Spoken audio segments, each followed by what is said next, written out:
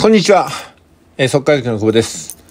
FX の相場解説で、私がね、ここを抜けたらエントリーって言った時は、一体どこを抜けたらエントリーなのか分かりにくいというね、ご指摘ございました。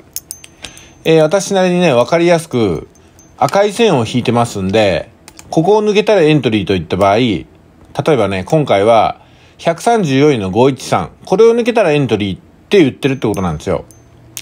それはですね、この髭先を見ていただきたいんですけども、まあ、ここと、あれ、ここですよね。この辺2つを結んで、まあ、こちらはね、結構アバウトなんですけども、134円の513かなと思ってるんですよ。ですんで、これは、私のね、あの、目分量ですから、134円の510とか520になる時もあります。ただ、このダブルトップを抜けた時に、バイでエントリー、ここを抜けたらエントリーっていうのはそういうことですんで、今回ね、たまたま134の513ですけども、ここを抜けたらまあ、私がね、エントリーするんだなと思っていただければいいです。ただ、正確に134の513でエントリーするわけではありません。予約決済をかけてるわけでも何でもないんで、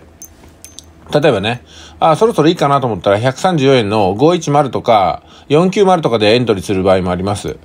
えー、その他、ね、あの、貼り付いてるわけじゃないんで、134円の520とか530でエントリーする時もあります。まあ、つまり、この前後抜けたらエントリーするかなっていうふうな目安なんですよね。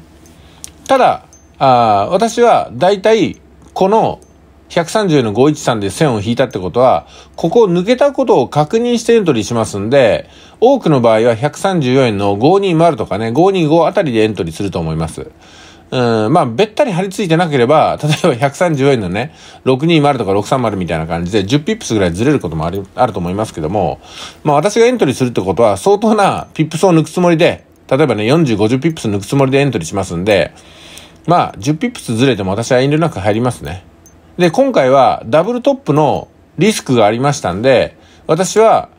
この辺りでポジションを取ることはあんまり良くないなと思ってたんですよ。うん。ですんで休憩はしました。で、えー改めてダブルトップになったんで、やっぱりこの辺りでの buy でのエントリーは、ポジション取りはないなと思ってましたんで、まあ当然、えー右肩上がりなんで、私はこういう時には、 sell になりそうだと思ってる sell のエントリーはしないんですよね。ですからここ何ヶ月も私 sell で取るなんて、まあ言ってないと思うんですよ。うん、とにかく右肩上がりの円安がバリバリ続いてる時ですから、もう倍で取るしか考えてないですよね。うん。まあ、押し目に下がってくる時はじっと待つみたいな感じです。で、今回も、え、トリプルトップの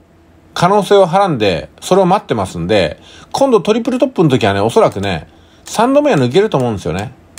ですんで、もう一回この134円の513を使おうと思って、虎視眈々と休憩しております。えということですね。えー、こう、ここを抜けたらエントリーっていうのはどういうことですかっていうのに回答させてもらいました。